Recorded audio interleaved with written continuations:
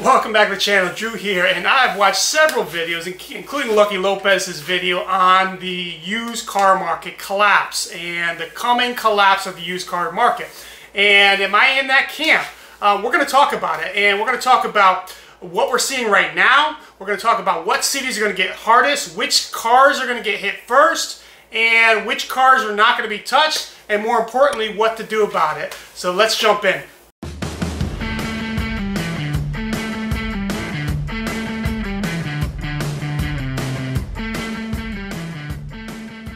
Alright guys, if you haven't seen Lucky Lopez's video, he's done uh, a, a, very popular video that kind of blew up and then a follow-up video. I watched them both. There's some things that I agree with, I think he's spot on. Uh, there's others that I think he's a little bit off based only on you know his geographic location. So we're going to talk about it. Uh, first, let's we're, we're going to cover a lot of things in this video, but we're going to do it very, very concisely, very, very quickly. So uh, the first thing we want to talk about is what signs are we seeing right now? So what we're seeing right now is he's right. Repos are up and all the, the stimulus check ballers, people who, you know, got all these stimulus checks and bought cars that they really couldn't afford. They're, they're, they weren't, uh, you know, able to, to keep those cars and they're already getting repoed and the repo yards are filling up. That is correct, okay? Um, we also are um, seeing auction prices dropping for the first time in, in a long time. Okay, um, recession talk is everywhere, and going into a recession, people are a little more, uh, you know, less likely to spend money on things that they don't necessarily need. They're likely to keep their cars a little bit longer. That's definitely true. Uh, I, I, am, uh, you know, not quite as bearish on the, the the used car market as Lucky is, but uh, I am 100% bearish on the, the economy. And um, I think the economy is going right into a recession. I think we're already started, and it's going to get bad and maybe really bad. Uh, but um, that, that we also are seeing a change in consumer purchasing. So people that are buying cars are people that have to buy a car and not necessarily people that just want to buy a car. That's true. Um, and the opportunists have already sold their vehicles. So people who, you know, bought a car and then all of a sudden their car's worth 10 grand more, they paid for it. Those people who are opportunists who are like, dude, I can drive my second car for a little while and I might as well just cash this out. Those Most of those people have already cashed out.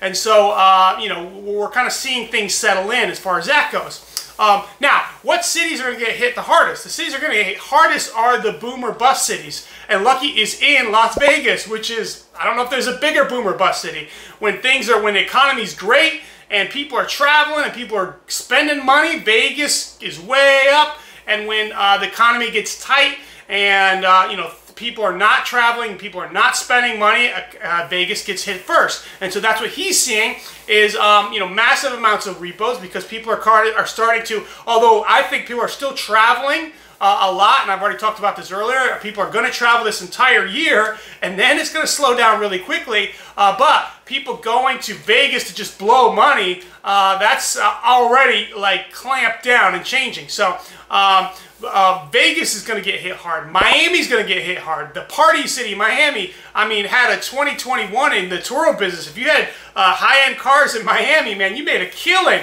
in 2021. Uh, it's going to slow down this year, and next year it's going to Miami's going to be uh, a, a, tough city for the Turo business as far as the higher end cars and stuff like that. There's not going to be a lot of partying in Miami in 2023. I can tell you that. Uh, now, uh, Los Angeles uh, is going to get hit. Hawaii is going to get hit. People, uh, you know, are, are still traveling, but they're not spending the, the, the airfare and the more expensive money to go to Hawaii, and that's going to get hit. Safe cities. Which cities are safe? Safe cities are DC.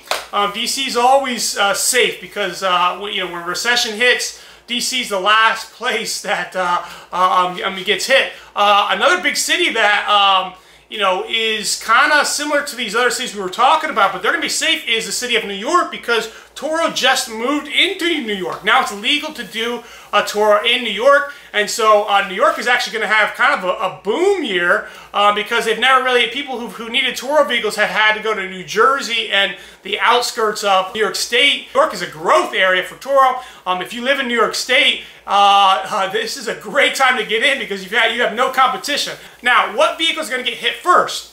I've got two groups of people, uh, two groups of vehicles. Uh, one, a group of cars that are going to get hit first, and some are going to get hit hammered hard as far as the values of vehicles. And then group number two, which is kind of like safe vehicles, in my opinion, um, or at least are, are going to take a lot longer before the values of those come, come down. So the first group, group number one, is uh, most three to six year old cars uh, on the market are going to get hammered. These are the cars that have shot up, you know, 40, 45, 50, 55% in value.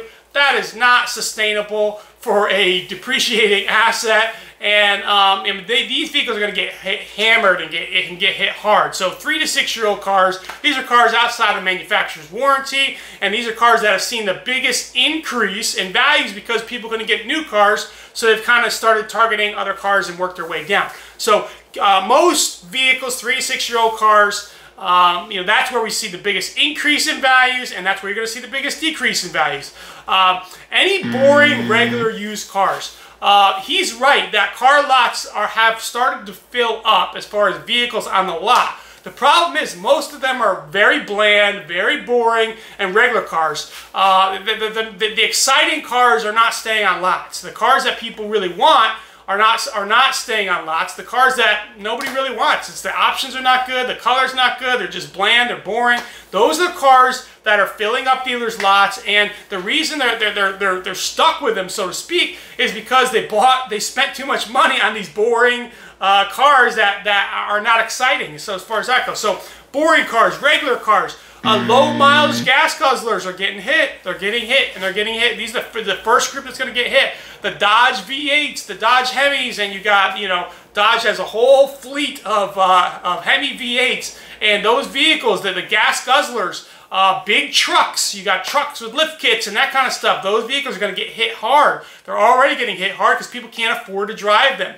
Uh, when gas doubles and triples, uh, it, really makes it much less, and people's um, you know budgets get tighter. It makes it much less value, uh, uh, viable to keep these gas guzzling cars. They're getting hit hard. New car market. Uh, which which vehicles are going to be affected in the new car market? I, I think that the new car market is going to be safe for a while because um, they're still not making a lot of vehicles. They're not making enough vehicles, that's for sure. But if there's one part of the new car market that might get hit, it's the trucks, the big trucks.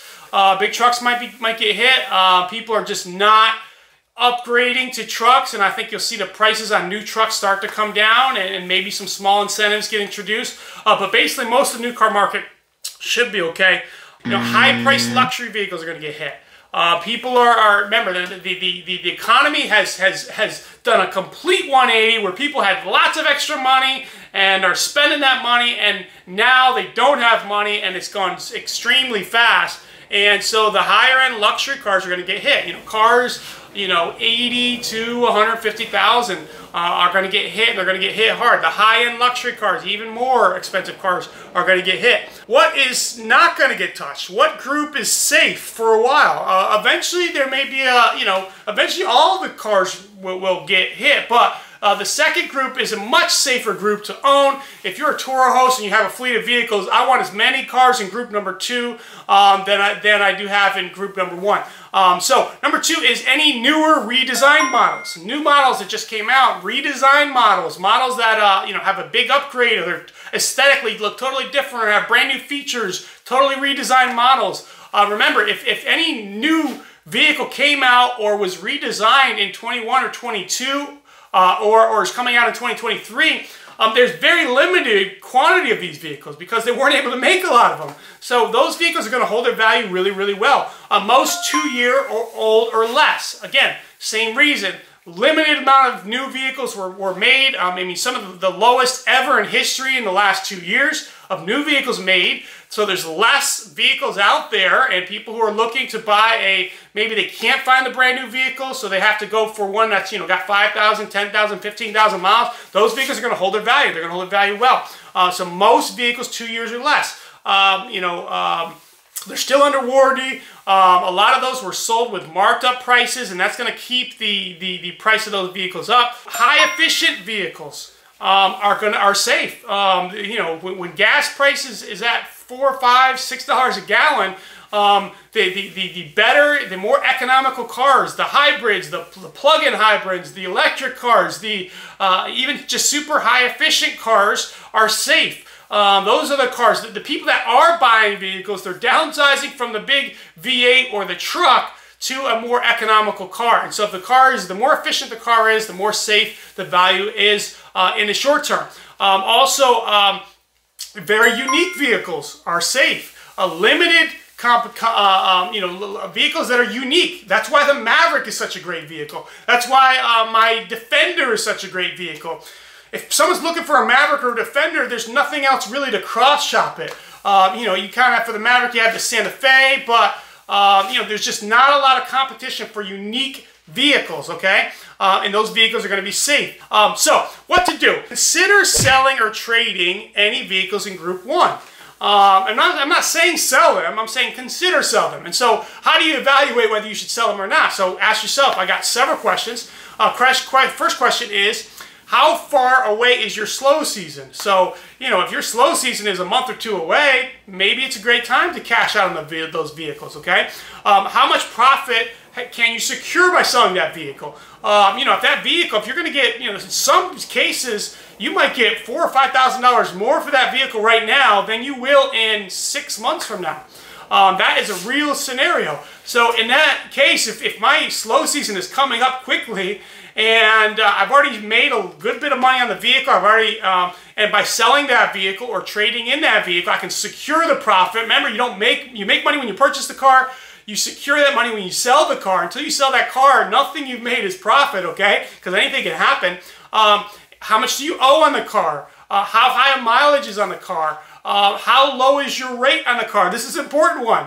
Uh, you know, if, if you've got a, a 2% rate or 2.5% or 3% rate, uh, you're not going to get that rate again. Uh, the banks, Lucky is right as far as the banks are going to be restricting loans. They're going to make uh, uh, loans. The rates are higher, but they're also not going to improve, approve stretched out loans. Um, people who have a lot of cars are going to have a harder time getting more cars, uh, auto loans. So the banks are going to get very, very strict and the rates are going to get up and you're not going to replace that rate. So if you got a super low rate, you know, that's a reason not to trade a car, okay?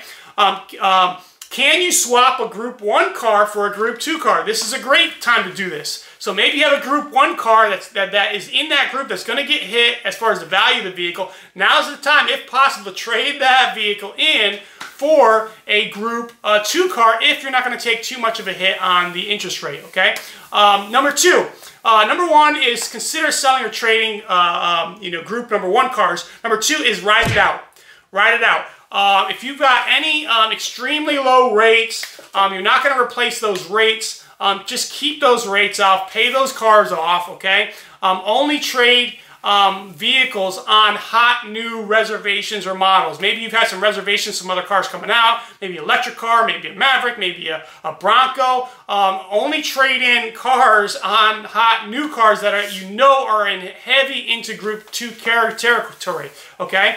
Um, uh, remember, the auto industry, the, the uh, auto market is not the auto rental market. They're two different markets.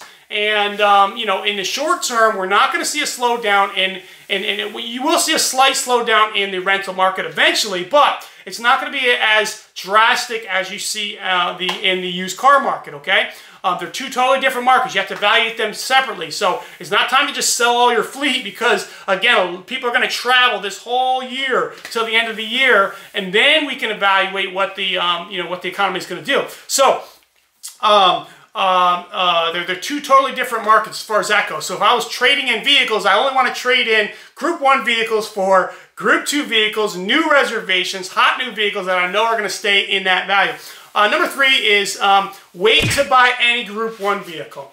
So uh, this is not the time. Any vehicles in that Group 1 wait, wait. The prices are going to come down, and there's an opportunity, maybe six months, maybe 12 months from now, to get some real deals in that area. Um, um, as all these auto repos repos get flooded on the market, if you want to get a uh, you know a, a, a V8 Dodge, give it about eight to 12 months, and you're going to be able to get a deal on one, especially if gas prices are still high. Okay, focus on paying high interest loans. Any of your loans that are high interest, uh, the highest interest that you have uh, um, you know, focus on paying those loans down And uh, next is bank cash, bank up cash. You know, if you got a profitable Turo business and you're bringing in cash flow, now's the time to just bank up cash. Instead of growing your fleet, just bank up cash so you're ready, uh, you know, as these prices start to drop and you may be able to find some really good deals. Um, so now's the time. I've been preaching, uh, you know, lock in 2% rate loans and buy new cars, buy new cars, buy new cars, because it just made more sense when inflation's 8, 9, 10%, and you can get 2% interest with good credit. I mean, of, of cars that are going to go up in value, that was just a no-brainer. Now's the time to bank up cash, and purchase cash cars if you're going to grow your fleet. Okay, uh, um, you, you, your interest rates are going to double and possibly triple in some cases um, on auto loans, and the banks are going to get very, very strict. That's fine. Just bank up cash, and if you're going to grow your fleet, add them one by one, and and and um, trying to pay the cars cash uh, as far as that goes if you want to grow. So, uh, all right, guys, that's it for today. I'm trying to bring you the very best, most up to date uh, info in the automotive industry and the Turo business. So until next time, guys, thanks for tuning in, and I'm out.